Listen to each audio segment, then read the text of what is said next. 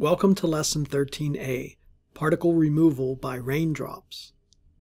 Today I'm going to introduce some of the basic physics of particle removal by raindrops, and we'll introduce something called single drop collection efficiency. So, by way of introduction, did you ever notice that the air smells fresh and clean after a good rain? Why? Well, it turns out that rain is very effective at removing particles from the air, and some vapors too, but we're going to concentrate on particles. Is that why my allergies always seem better after it rains? That's right, Mr. Nerdly. Good observation.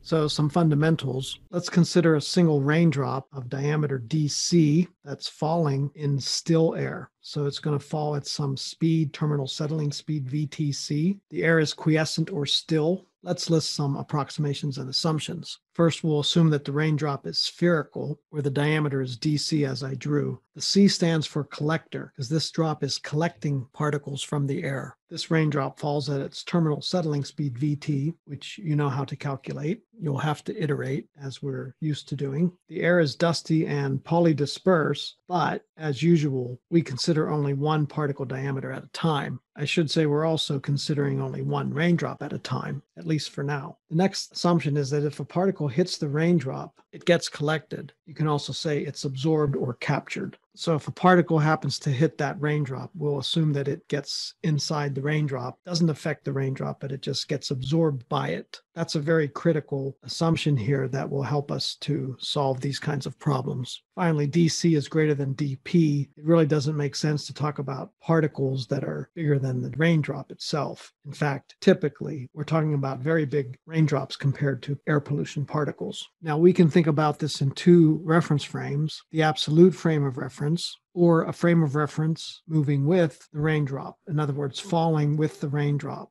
pretend you're a camera, and as this raindrop falls, you're just falling right along with it. So, in the absolute frame of reference, our raindrop is falling at terminal settling speed Vt comma c. I forgot to put the comma c up here, so that's the VTC of the raindrop. There's dusty air. These particles are falling at some VTP, We'll take that into account later when we do our analysis, but for now, just ignore that and just assume that the air pollution particles are falling very, very slowly compared to the raindrop itself, which is much bigger. If we transform into the frame of reference moving with the raindrop, now the raindrop seems to be standing still because we're moving with it, and the air is moving up at speed VTC. And so all these particles are moving up with the air. In this frame of reference, the particles are moving up also at VTC, technically a little less than that because they're also falling due to gravity. Now, some of these particles hit the drop and get absorbed while others don't. At first glance, you might say that everything under the raindrop gets collected, but that's not true because this raindrop is a sphere and the air has to move around it. There are air streamlines, and that's how we're going to analyze this. And we're going to use this frame of reference moving with the raindrop. So here's our analysis in that frame of reference moving with the raindrop.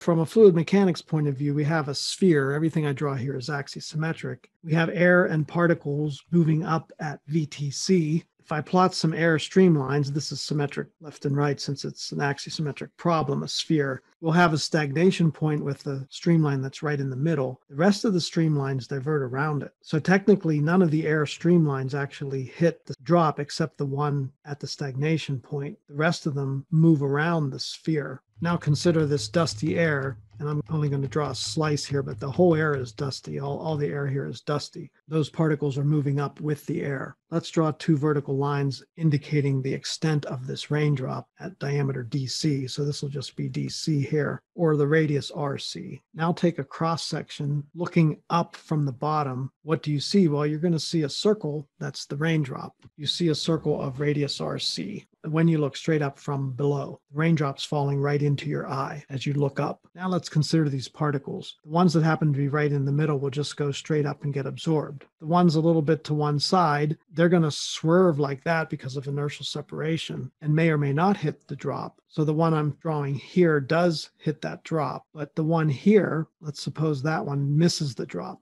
So there's some magic location, some magic radius here where the particles veer and just barely get absorbed by the raindrop. This is symmetric, so the same thing happens on the other side. it's axisymmetric actually. So it happens all the way around. It's a circle. Now, if I imagine drawing a line straight down from that location where these are just captured, we're going to call that radius R1. R1 is the capture radius. And so looking from directly below, drawing our tangents, we also draw a circle here, a red one at radius R1. And that circle represents the capture area and the area of a circle is just pi r squared. So this capture area is pi r1 squared. This bigger blue circle is the projected area. That's what we use in fluid mechanics when we're talking about drag coefficients on a sphere. That's just a circle of radius rc or diameter dc. So that area is pi rc squared from this diagram, we can see that all particles that are directly under the drop do not get captured. Only some of them do, namely the ones that are within this red capture area. So I can summarize by saying all the particles at R less than R1, in other words, they're within the capture area, get captured, and all particles at R greater than R1, which is outside the capture area, do not get captured. So that's pretty simple analysis, except we don't know what R1 is. I'll give you some equations for R1 next time. But for now, I want to just define a single drop collection efficiency. It's a grade efficiency. I'm going to put a subscript D for the single drop. So the eta D as a function of dP is the single drop collection efficiency. It's defined as the fraction of mass of particles under the raindrop that are collected. That'll be our definition of single drop collection efficiency. Well, what is it? Well, it's just the fraction of particles that are in this radius R1, this capture area, compared to all the particles that are directly under the projected area, which is RC, radius RC. Technically, in terms of mass, we can write eta D as a function of dP is the mass concentration, CJ naught, of the uncleaned air, the dusty air below the drop. We'll call that CJ naught. So eta D dP is that mass concentration times Q, volume flow rate of the capture area, the red circle above. That gives us a mass flow rate, concentration times volume flow rate, over Cj naught times Q of the projected area, the blue circle above. Well, these Cj naughts cancel out, and we know that volume flow rate is simply speed times area. The air is moving up at speed VTC, so the speed is VTC, and the area of the capture area is pi r1 squared. And the particles directly underneath the drop, the projected area, their Q is then the speed VTC, the same speed times pi rc squared. So these VTs cancel, pi's cancel. And so we have single drop collection efficiency being R1 over RC squared, or in terms of diameters, if you prefer, D1 over DC squared. So that's our result, and I typed that out here. In summary, single drop collection efficiency, eta D of dP is given by the ratio of these radii or these diameters. And then I just summarized RC is the radius and DC is the diameter of the falling raindrop, which is the collector. That's why there's a subscript C. And for lack of anything better, I just use the one here. R1 is the radius and D1 is the diameter of the capture area below the raindrop. I didn't want to use another C. Now let's do a simple example. So a spherical raindrop falls in quiescent dusty air. Here's some properties, pressure, temperature, diameter of the raindrop. And then for particles of interest, then I'm going to show you how to get these R's, but for now, I'll just give it as for certain particles, it's 13.6 microns. Let's estimate the single drop collection efficiency for these particles of interest that happen to be directly under the raindrop as the raindrop falls as a percentage. So we'll just use that equation we just derived. So this is pretty simple. I'll do the diameters. So the diameter is the radius times two, and that's in microns. And then DC was given as 200 microns. That's squared. Microns cancel. And then to get it in percent, we multiply by 100%, and I get 1.85% as my answer. That's pretty small. And you might say, well, this raindrop isn't a very good collector for these particles. Well, that's true. But keep in mind that when it rains, you don't just have one raindrop, you have thousands of them generally, and they're all falling, all pretty much similar sizes. And the point is that if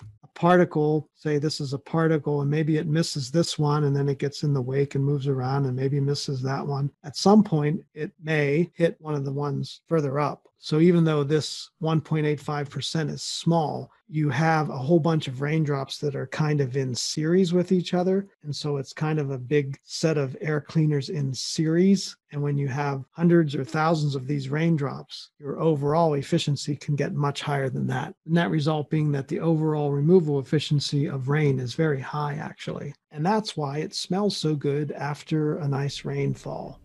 I hope it rains today. Me too, Ned. Me too.